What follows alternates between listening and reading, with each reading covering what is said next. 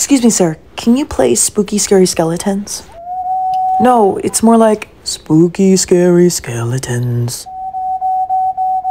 Please, Rat. The song is not that hard.